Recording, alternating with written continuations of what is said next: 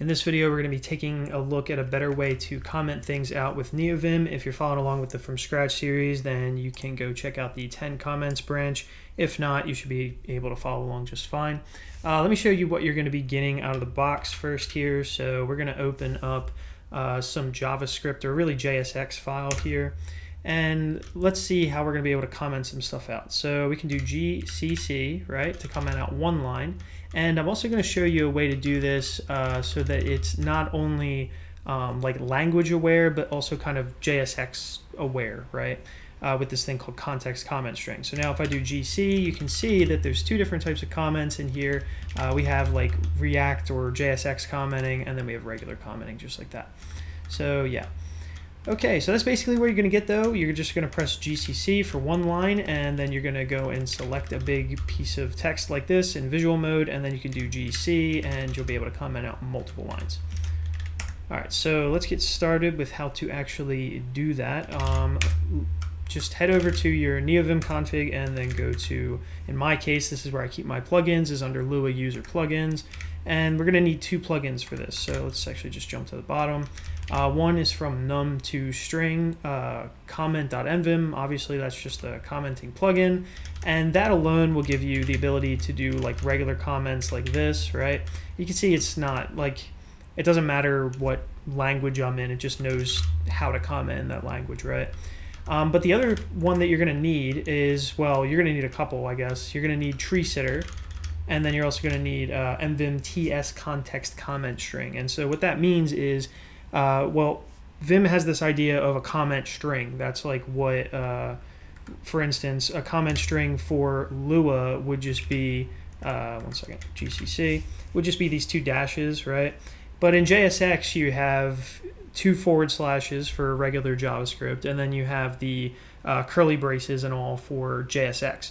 And so this is context comment string, so it knows what kind of comment string to use based on the context of the file right? So what context you're in at that time. So we're going to install that guy up there, the comment.nvim, make sure you have tree sitter, and then we're also going to install TS, which stands for tree sitter context comment string. All right, and so now let's go take a look at what we have for comments. So I have this under uh, just Lua user, and then I have comment.lua here. This is basically all the stuff to get the uh, TS context comment string stuff working. GCC and GC work out of the box. Uh, but yeah, so you're going to want to add this config here. There is stuff in their uh, README for this. So if you go look here, I don't, well actually I don't know if it's in their README. Might be in their docs somewhere, but I know that this is how you do it. Let's see. Yeah, here it is. So if you go to their README, they actually do have some stuff here for getting this to work. So you can go check that out over there. All right, so now we're back over here in our config. We showed you the comment uh, file.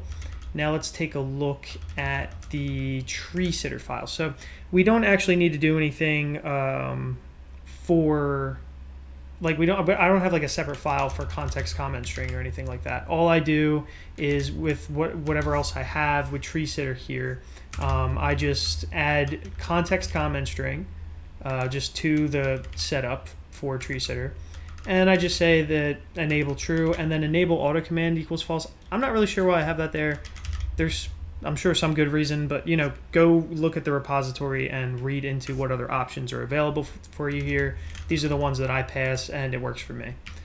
So yeah, so that's pretty much it. It'll work for every single language, and I know it's been a huge turnoff for people um, when they're using JSX, or I, I don't know how many other languages uh, need some context-aware comment string stuff.